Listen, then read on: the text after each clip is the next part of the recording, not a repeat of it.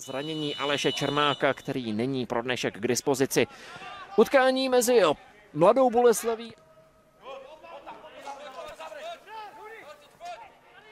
Hezky se uvolnila, je z toho šance pro Šulce a také první gol utkání, čtvrtá minuta zápasu a Plzeň otevírá skore.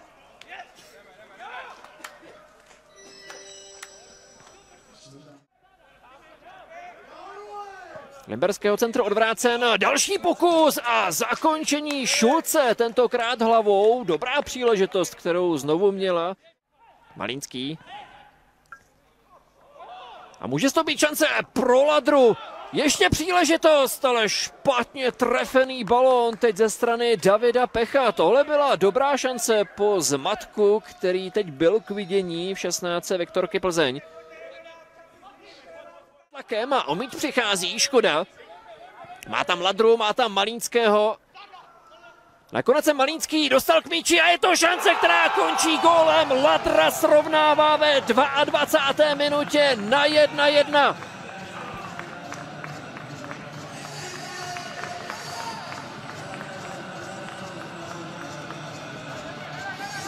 Je z Olomoucí 1-1.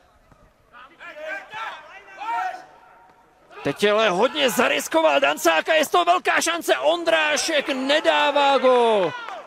Obrovská chyba, kterou vytvořil teď domácí středopolař.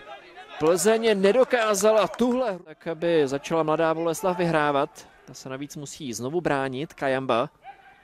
Našel faltu, znovu Kajamba, tohle už byla šance, Diviš zakročil.